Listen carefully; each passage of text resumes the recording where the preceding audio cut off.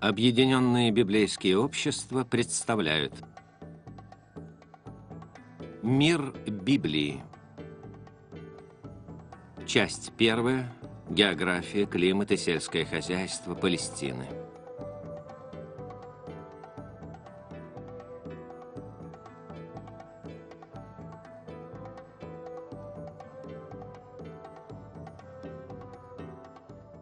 Большинство событий, описанных в Библии, разворачивается на небольшой территории восточного побережья Средиземного моря, в Палестине. Эта земля не богата природными ресурсами, здесь нет гавани, пригодных для мореплавания. Однако этот район всегда был местом встречи или противостояния окружавших его великих держав.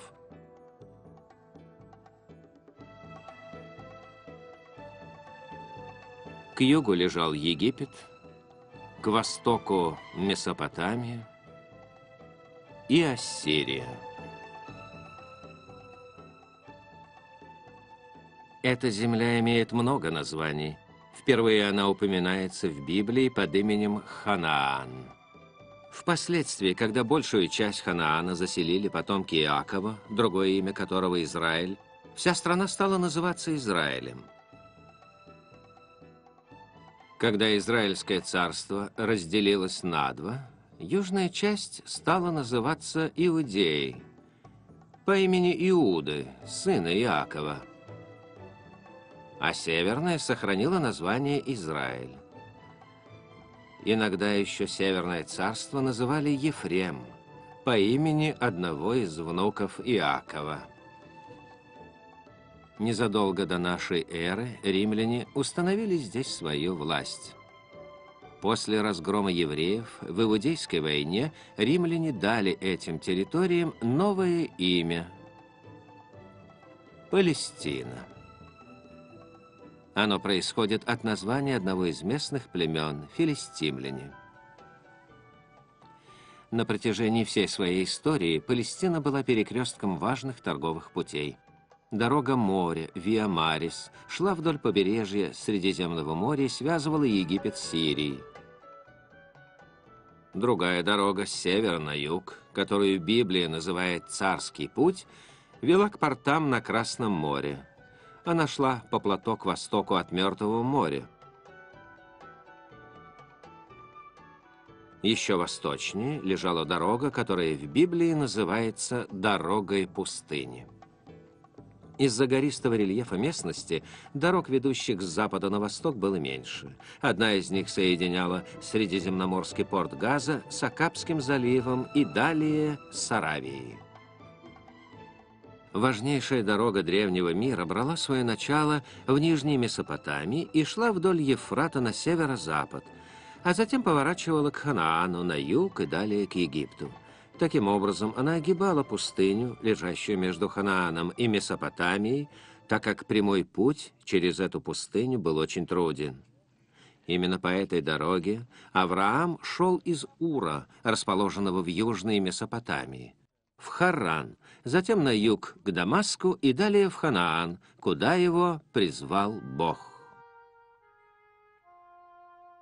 Средиземное море давало возможность торговать с западными странами, но иногда со стороны моря приходили и завоеватели. Земля в Палестине далеко не самая плодородная. Страна лежит на краю пустыни. Годовое количество осадков резко уменьшается с севера на юг.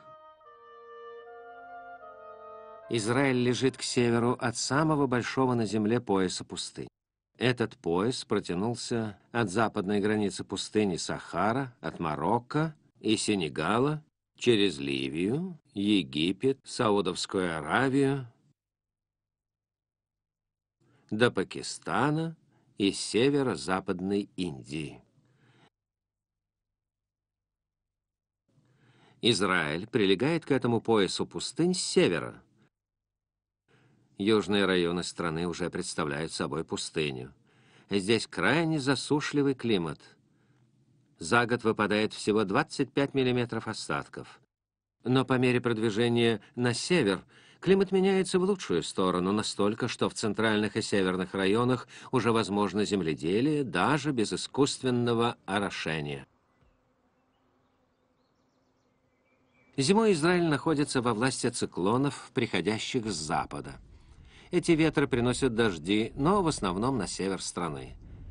Путь движения воздушных масс, несущих влагу, как правило, пролегает между Кипром и Турцией, и лишь немногие из них отклоняются южнее.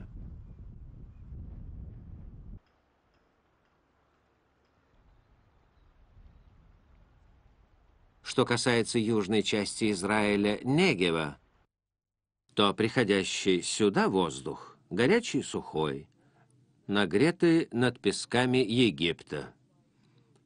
Дожди выпадают в Негеве лишь тогда, когда ветер дует с северо-запада. Южнее Негева дожди выпадают крайне редко. В Эйлате, одном из самых засушливых мест в мире, уровень осадков составляет всего около 25 мм в год. В центральном Негеве уровень осадков около 90 мм, а около Беершевы уже почти 200.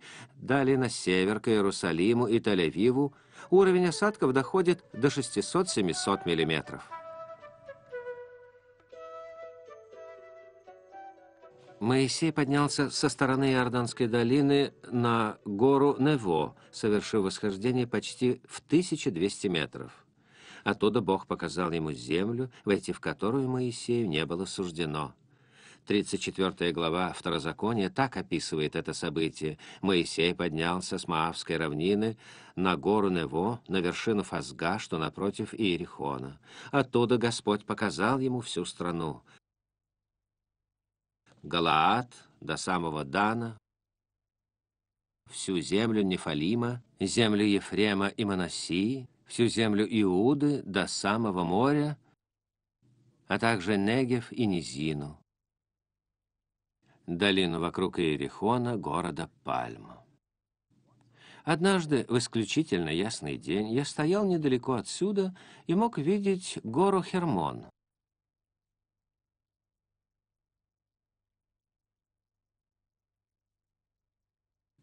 Чтобы лучше понять топографию Палестины, мысленно поделим страну на несколько полос, проходящих с севера на юг.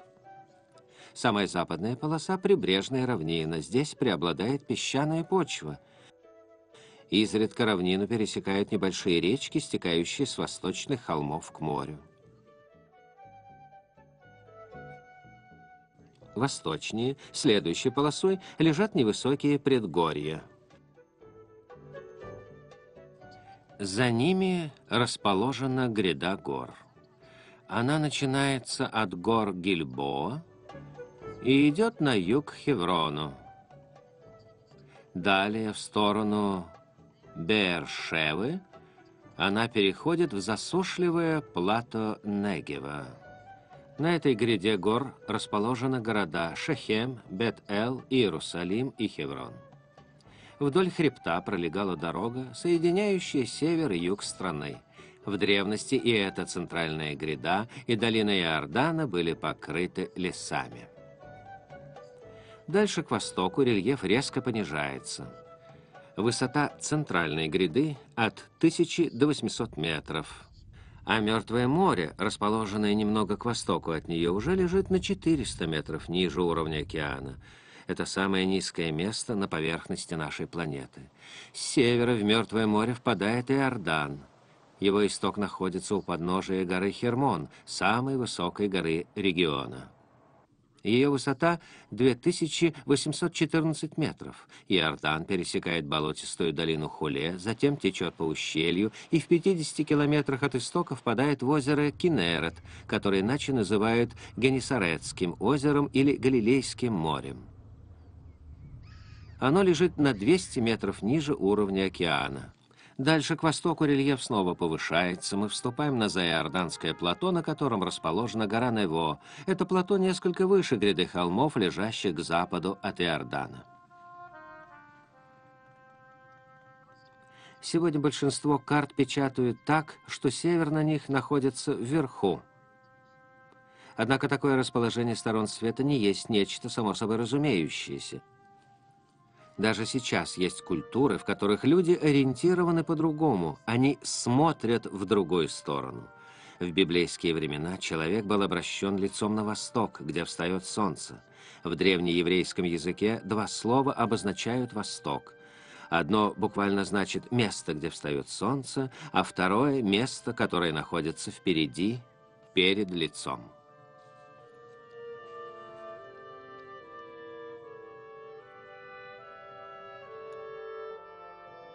Откуда люди в пустыне доставали воду? Как они собирали и хранили ее?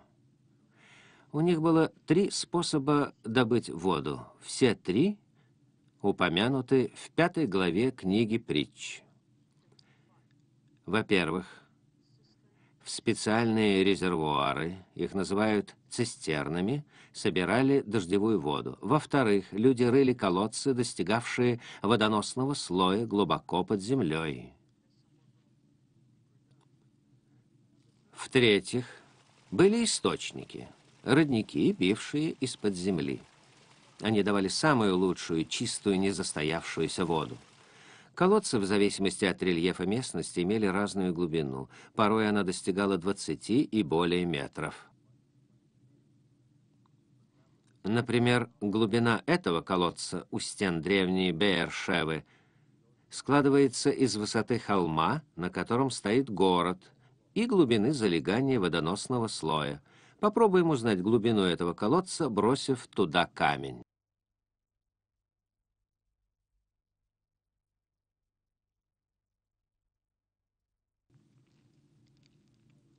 Примерно 75 метров. В Палестине, как правило, очень каменистая почва.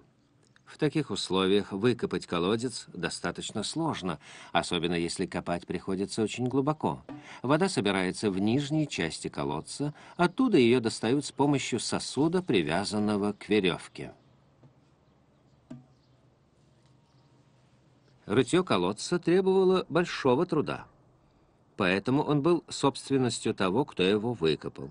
Когда несколько живущих рядом семей сообща выкапывали колодец, он считался общим. Владелец должен был постоянно заботиться, чтобы стенки колодца не осыпались, чтобы его не занесло песком. Изнутри колодец выкладывали камнем, чтобы укрепить стенки. Иногда из-за изменения климата колодец пересыхал и становился заброшенным. Рядом с колодцем лежала веревка, с помощью которой доставали воду. Отверстие колодца выкладывали известняком. Этот камень относительно мягок и легко обрабатывается. Постоянное трение веревки оставляло на камне заметные следы. Иногда для удобства над колодцем сооружали деревянный каркас. Сосуд, с помощью которого черпали воду, мог быть из камня или глины, Однако чаще всего его делали из кожи, чтобы он не разбился при ударе о дно или стенки колодца. Животные, пытаясь добраться до воды, могли упасть в колодец. В этом случае тело мертвого животного отравило бы воду. Чтобы предотвратить это, колодец обычно закрывали тяжелым камнем, который не в силах были сдвинуть даже крупные животные. Почва в Палестине каменистая и поглощает воду относительно медленно.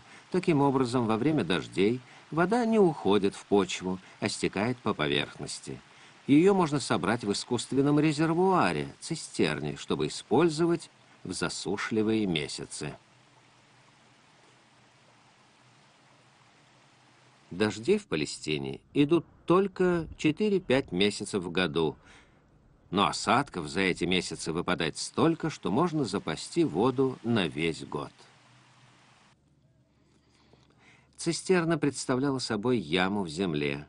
Чаще ее выкапывали специально, но могли приспособить и естественное углубление. Цистерны в среднем имели около 6 метров в поперечнике и столько же в глубину, но встречались и более крупные, в ранние периоды цистерны всегда высекали в камне, чтобы вода не уходила. Позднее, когда люди научились обмазывать стенки цистерны известковым раствором, требования к породе стали менее строгими. Ведь теперь дыры и трещины можно было надежно заделать. И Иеремия использует в своих пророчествах образ треснувшей цистерны, которая не может удержать воду. Цистерны иногда располагали вне поселения, в местах, где было проще собирать воду. В селениях их часто выкапывали просто под домом или рядом с ним. Туда стекала вода с крыш домов, с дворов и улиц.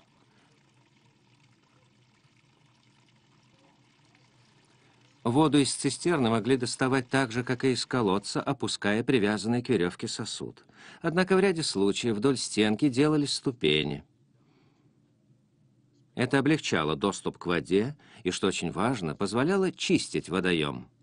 Стекающая вода несла с собой грязь, которая со временем оседала на дне цистерны. За несколько лет этот осадок мог заполнить ее целиком. Цистерна становилась непригодной для использования. Она превращалась просто в яму, наполненную жидкой грязью. Подобную яму могли использовать в качестве тюрьмы, как это было в случае пророка Иеремии.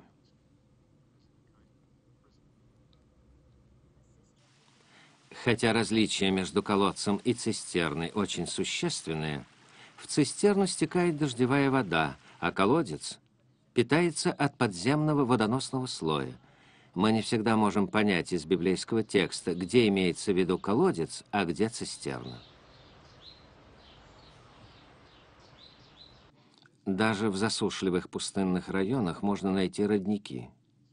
Дождевая вода просачивается сквозь почву, пока не достигнет водонепроницаемого слоя из глины или камня. Поскольку вода не может идти дальше вглубь, она течет по нему и где-нибудь выходит на поверхность. Там, где это происходит, возникает родник. Вода проделывает долгий путь под землей, прежде чем выйти наружу.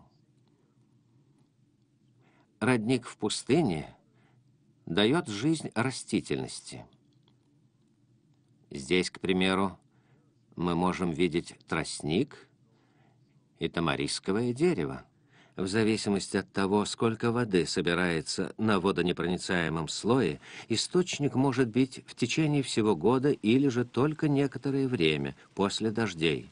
Рядом с источником всегда можно найти растительность, траву, тростник и даже деревья. В этой засушливой части мира люди всегда селились около воды – Города для лучшей защиты строили на холмах или отрогах гор, но обычно так, чтобы неподалеку был источник. Если город окружали стены, то источник нередко оставался за стеной, у подножия холма.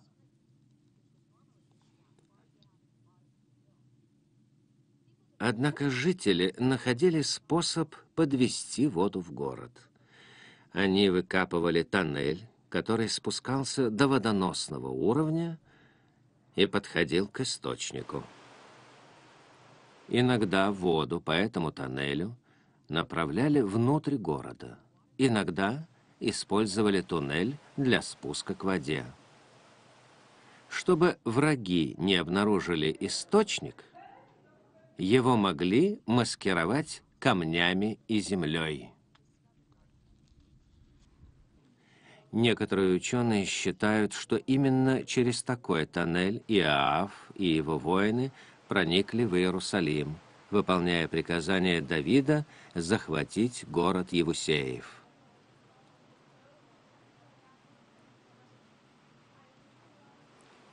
Наличие родников резко повышало ценность земли книгах Иисуса Новина и Судей мы читаем, как Ахса просит у своего отца Калева, чтобы отец, выделивший ей участок земли, отдал ей и близлежащие источники. Источник воды стал символом самой жизни. Пророки сравнивают грядущее процветание израильского народа с источником воды, бьющим в пустыне.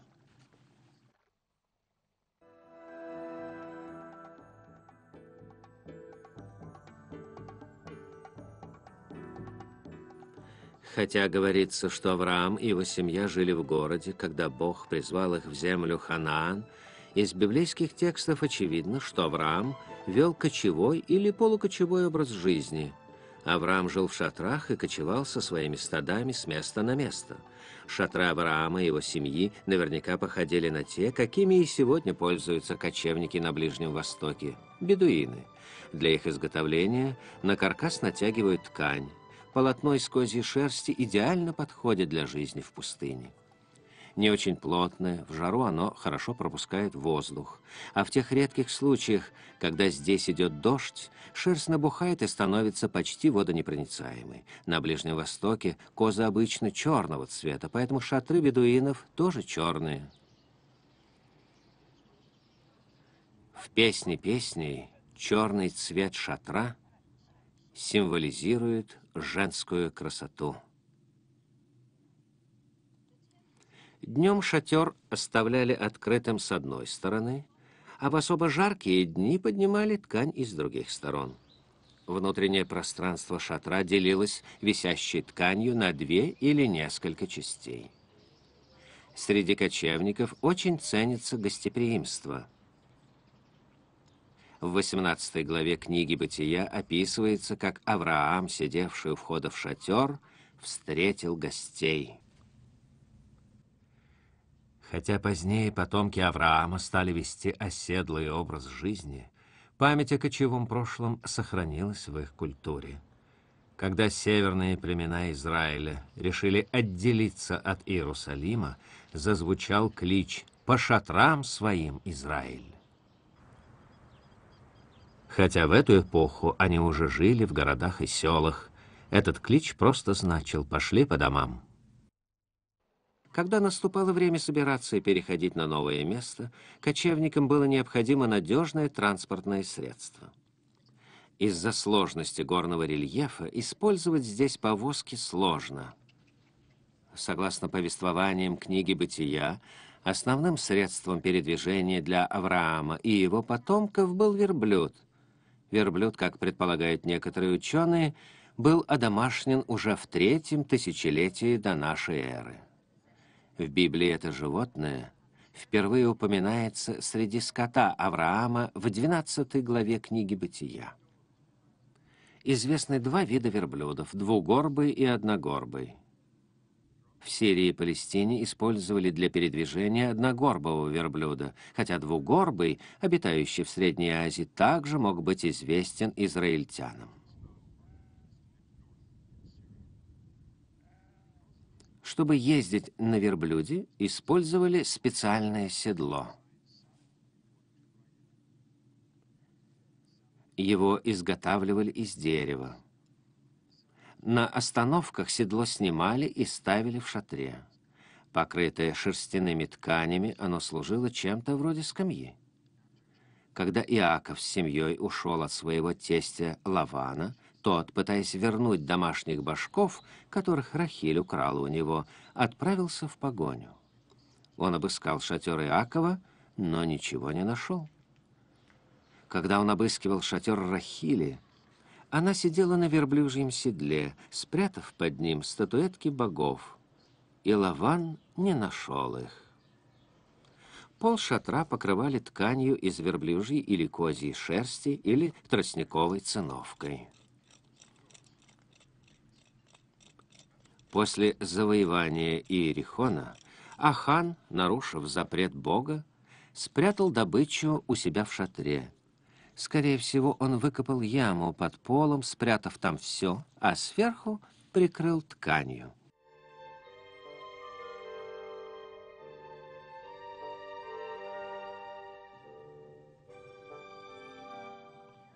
В южных и восточных областях Ханаана выпадало недостаточно осадков для того, чтобы заниматься земледелием, но было достаточно корма для мелкого рогатого скота. Трава, листья, молодые побеги деревьев и кустарников – все годилось в пищу овцам и козам. Пастуху нужно было постоянно кочевать. Когда животные выедали всю зелень вокруг, он перебирался на новое место. Максимальный размер стада зависел от того, насколько богата была растительность того или иного района. Из-за недостатка дождей пищи для скота часто не хватало, поэтому пастухи соперничали за лучшие пастбища. Именно по этой причине Лот и Авраам отделились друг от друга. Когда пастуху удавалось найти хорошее пастбище, ему следовало озаботиться тем, как напоить свой скот. Хорошо, если рядом был источник. В противном случае приходилось копать колодец. Днем пастух выводил стадо на пастбище. Овцы обычно шли следом за пастухом, а вот более упрямые козы часто убегали вперед. В конце дня пастух пригонял стадо обратно. Чтобы животные не разбредались, из камней или ветвей колючего кустарника сооружался загон. Загон также давал защиту от хищников, ведь здесь водились львы и волки. Овцы и козы обычно идут друг за другом. Там, где они постоянно пасутся, они со временем протаптывают характерные тропы. Таких троп не бывает в районах, где люди живут оседло и занимаются земледелием. Зима в Израиле может быть довольно холодной, особенно в горной местности, где обычно и разводят скот. К зиме у животных отрастает более длинная и плотная шерсть. Весной пастухи состригают ее. Стрижка овец была одним из важнейших событий в календаре пастуха. Из шерсти шили одежду, делали шатры, покрывала, мешки и многое другое. Шерсть можно было обменять на зерно и прочие необходимые пастуху вещи.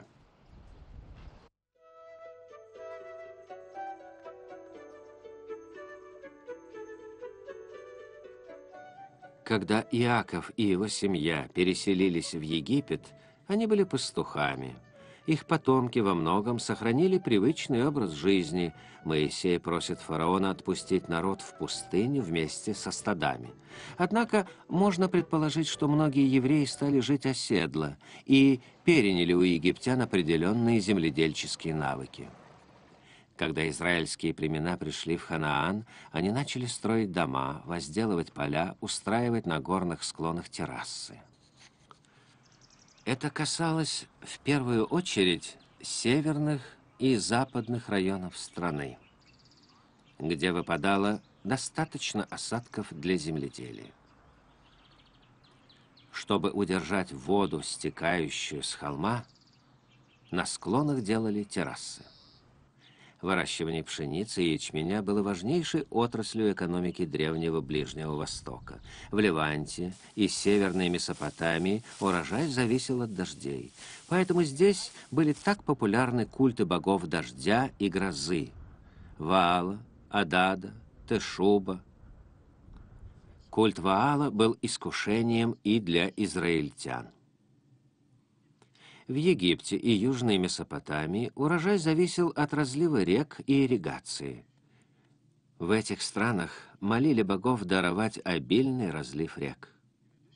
Кроме зерновых, ячменя и пшеницы, в Израиле возделывали и другие сельскохозяйственные культуры. Особенно важны были две – виноград и оливки. Многие районы страны идеально подходят для возделывания винограда. Виноградная лоза плодоносит на протяжении нескольких лет, но по окончании каждого сезона необходимо обрезать прошлогодние побеги. Лозу подрезают очень коротко. За сезон она может вырасти на несколько метров, а в конце сезона от нее оставляют лишь небольшой обрубок ствола. Такая радикальная подрезка необходима для того, чтобы следующий урожай был сочным и сладким. Первый виноград созревает в июне. Сбор урожая начинается в июле и продолжается все лето. В конце сентября или начале октября обычно пьют первое молодое вино. Собирают виноград, срезая грозди с лозы. Высушивая виноград на солнце, делают изюм. Затем его спрессовывают в блоки. В таком виде он может храниться долгое время. Изюм очень питательный, поэтому его часто брали с собой, отправляясь в дорогу. Однако большая часть собранного винограда шла на изготовление вина. Гроздья винограда сваливали в давильню. Иногда она была совсем маленькой. Ее использовала только одна семья для винограда собственного виноградника. Однако чаще давильня принадлежала всей общине, и каждая семья по очереди давила там виноград. Когда работники топтали виноград, и из ягод вытекал сок, дно пресса становилось очень скользким. Чтобы не упасть, над ямой сооружали деревянную перекладину, которой привязывали веревки. Люди держались за них, чтобы не поскользнуться. Виноград топтали босыми ногами. Иначе можно было раздавить виноградные косточки, и тогда бы вино горчило.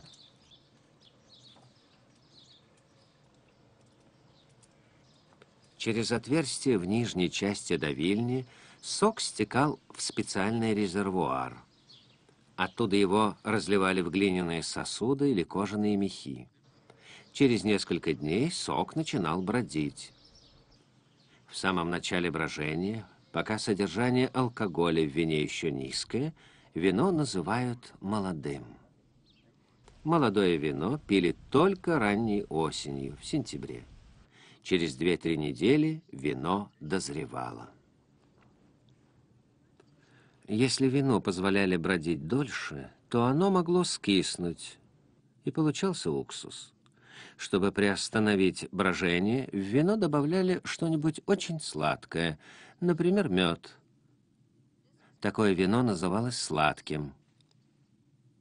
Евангелист Лука упоминает его во второй главе книги «Деяний апостолов», когда идет речь о событиях Пятидесятницы. Сладкое вино было крепче и могло храниться в течение многих месяцев.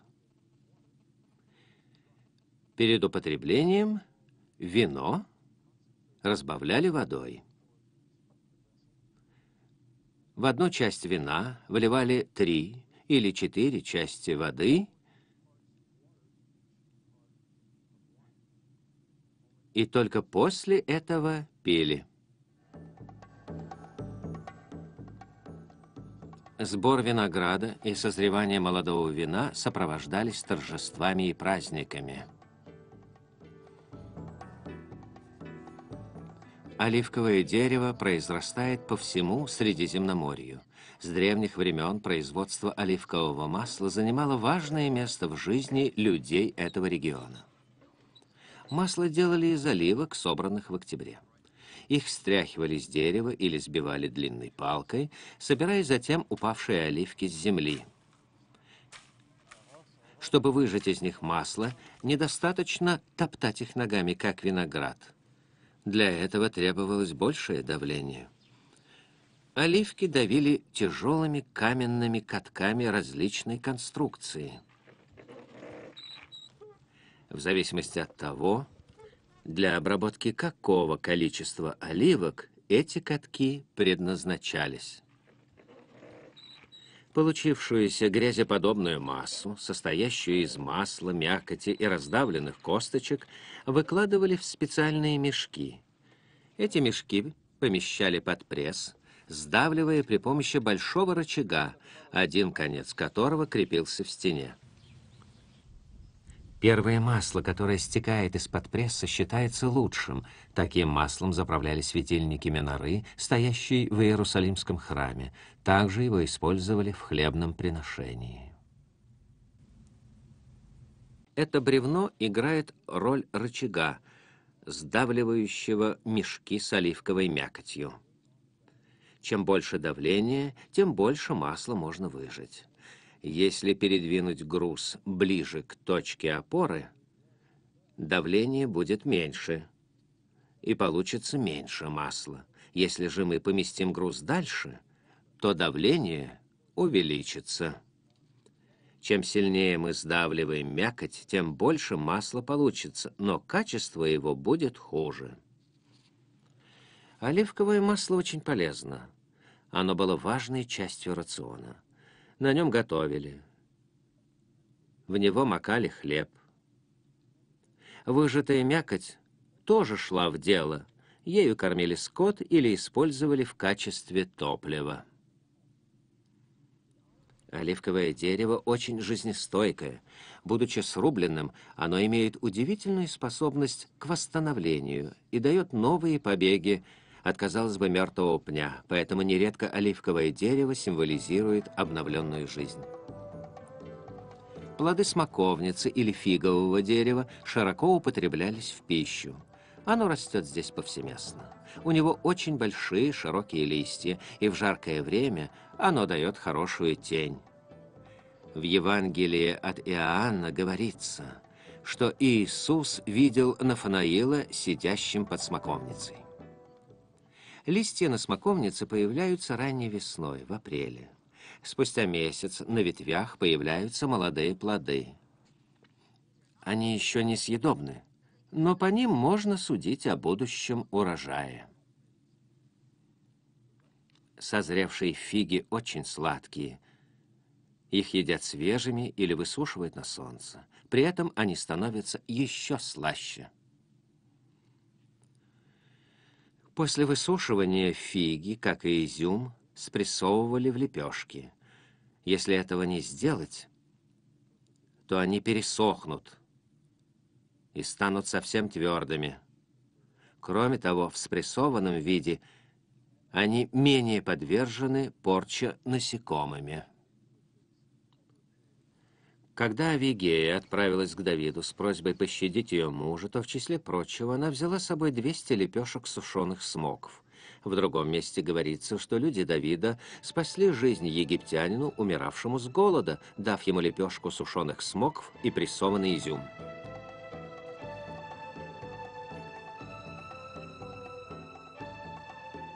Даже там, где выпадает достаточно дождей, заниматься земледелием в Палестине непросто, почва обычно очень каменистая. Зерновые культуры высевали после начала осенних дождей, которые приходятся на середину октября.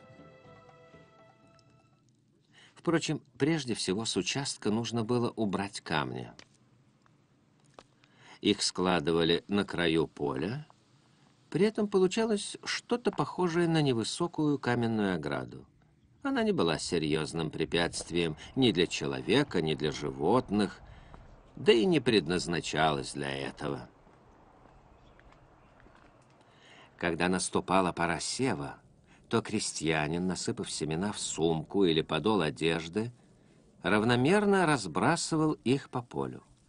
Конечно же, часть семян пропадала притча сеятели Иисус говорит о том, что не все семена падают на поле. Часть падала в колючки, которые росли вдоль участка. Часть падала на камни. Часть на жесткую, утрамбованную землю, проходившей рядом дороги.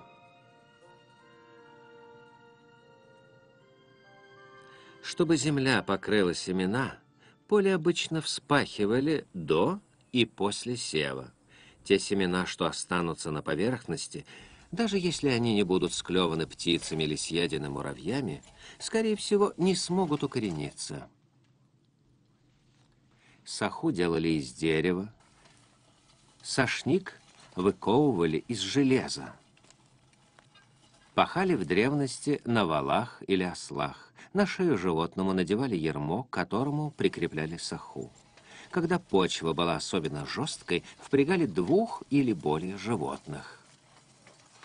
Ермо делали из дерева или связывали из веревок. С помощью заостренного прута стрекала земледелец направлял животное, а также погонял его, если оно упрямилось и не хотело идти. Время урожая приходилось на конец весны или начало лета. Ячмень созревал раньше пшеницы, его убирали уже в конце апреля. Пшеница созревала позднее, ее сжинали в июне. Ячмень и пшеница были важнейшими сельскохозяйственными культурами в библейское время.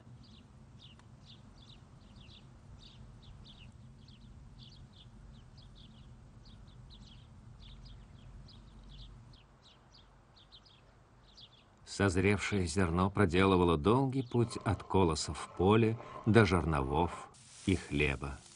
Вначале нужно было собрать колосья, потом выбить из них зерна, затем отделить зерна от мекины, наконец перемолоть зерно в муку. Колосья срезали с помощью серпа.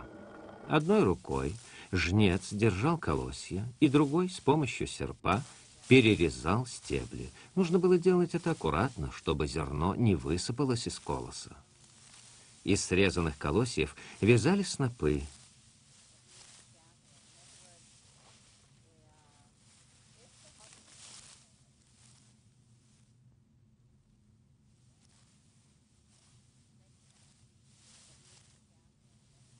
После этого их переносили на гумно для обмолота.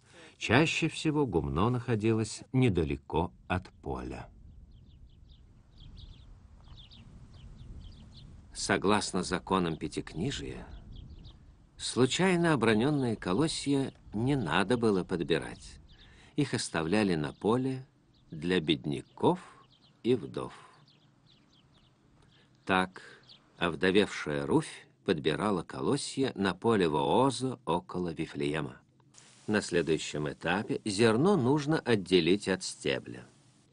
Гумно устраивали на ровной площадке. Здесь снопы укладывали ровным слоем и волокли по ним молотильную доску. С нижней стороны доски были проделаны отверстия, в которые вставлялись камни. Животное волочило доску по колосьям, а крестьянин обычно стоял на ней, чтобы увеличить вес. Камни перерезали стебель,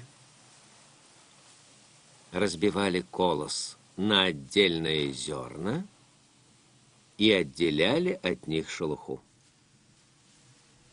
Иногда вместо камней в доску вставляли металлические зубья. Такая молотилка была более эффективным орудием, но и более дорогим. Железные молотилки упоминаются в пророческих книгах.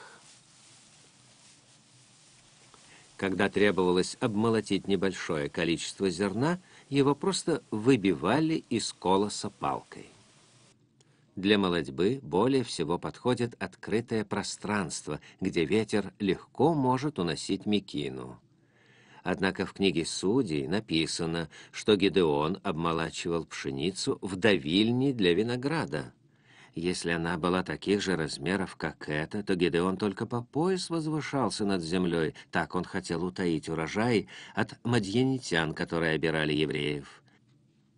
Сейчас я стою в яме, куда из давильни стекал виноградный сок. Она высечена в скальной породе. На дне подобной ямы мог стоять Гедеон и обмолачивал зерно палкой. Согласно законам Пятикнижия, нельзя было завязывать рот животному, которое тянет молотильную доску. Ему было позволено беспрепятственно есть зерно и солому. После молодьбы на гумне оставалась лежать смесь из зерна, мекины и резаной соломы. Чтобы отделить зерно от мекины, его нужно было провеять. Специальной деревянной лопатой – крестьянин подбрасывает эту смесь в воздух. Ветер уносит легкую мекину, а зерно, более тяжелое, падает на землю. Поскольку молодьба проводится прямо на земле, в зерне могут оказаться мелкие камни. Чтобы отделить их зерно просеивают. Для этого используется решето, ячейки которого пропускают зерно, но задерживают камни. Иногда эту операцию нужно повторять, используя решето с более мелкими ячейками. Зерно перемалывали в муку по мере необходимости, не делая больших запасов, поскольку мука – легкопортящийся продукт, зерно же может храниться очень долго. Провеянное и просеянное зерно ссыпали в специальное зернохранилище, небольшое сооружение из камня, обмазанного известковым раствором. Иногда зерно могли ссыпать также в выложенную камнем и обмазанную изнутри раствором яму. Зерно перемалывали в муку каждый день, больших запасов муки не делали. В ней легко заводились насекомые. С глубокой древности люди пользовались зернотеркой, которая представляет собой два камня. Большой прямоугольный нижний камень и маленький верхний. Меж ними растирали зерно. Эту тяжелую ежедневную работу выполняли женщины. Рано утром, еще до рассвета. Она занимала много времени. Для того, чтобы намолоть муку на семью из пяти человек, женщине нужно было молоть на жерновах в течение трех часов ежедневно. Для женщины это был тяжелый труд. Звук жерновов и свет масляного светильника олицетворяли стабильность и безопасность.